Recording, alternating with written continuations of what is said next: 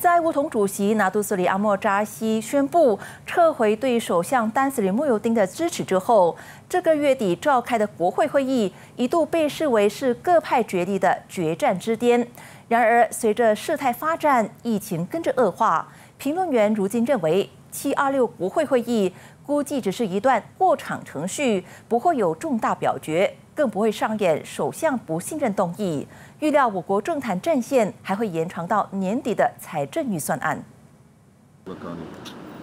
万众瞩目的国会会议将在一个多星期后登场。政府提成紧急状态法案，会否出现首相不信任动议？这些都是各界关注的焦点。不过，时事评论员潘永强和公正党副主席郑立康昨晚出席龙雪华清主办的线上讲座时，不约而同地点出，这场特别国会不会有看头。真要推翻首相政权，估计还得等到十月的采案现场。在统治者的压力之下，他已经超过半年没有开会，他必须要有一个走过场的这个过程。啊，可能不见得会有重大的一个一个呃一个表决或者是变化，那么我们也不用期待说会有不信任案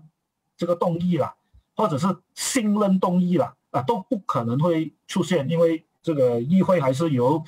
执政党或者是这个 Speaker 这个议长呃所所所主导的。郑立康认为，乌统主席阿莫扎西撤回对首相穆尤丁的支持，这也意味着彼此不再有谈判空间，简直是将首相逼上墙角。但穆尤丁也不会坐以待毙，很有可能在幕后酝酿绝地反击。啊，穆尤丁肯定会去出招了，我讲啊，包括就是对呃，刚刚我们看到呃，他们让这个本庄注册，为什么现在注册？为什么让本庄现在注册？为什么之前不让注册，现在突然间让本庄注册？然后呃，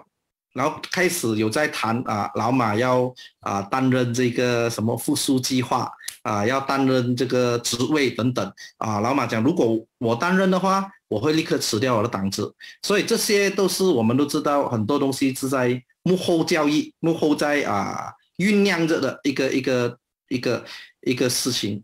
基于疫情升温，从而延长穆尤丁政权的寿命。但潘永强认为，穆尤丁试图一样画葫芦，启动紧急状态控制异议，结果顾此失彼。坊间反弹声浪不曾停息，就连好好处理疫情的机会也白白糟蹋了。他的败笔就是他的紧急状态并没有为他带来这个解决疫情的一种正面的效果。并不如他所宣称的，呃，有紧急状态就可以用来强力的，呃，去处理这个抗疫的啊危机，所以这些都会造成，呃，他这个紧急状态最后是，呃，成为一个输家，或者是没有办法再，呃，冻结这个国会。